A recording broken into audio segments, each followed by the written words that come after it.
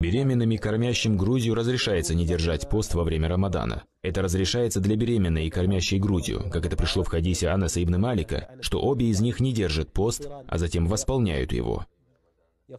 Восполняет его после окончания той причины, которая являлась уважительной для оставления поста, то есть беременности и кормления грудью. Среди обладателей знания есть те, кто классифицирует беременных и кормящих и говорят, если они не держат пост по причине кормления ребенка, то они должны накормить бедняков и восполнить пост.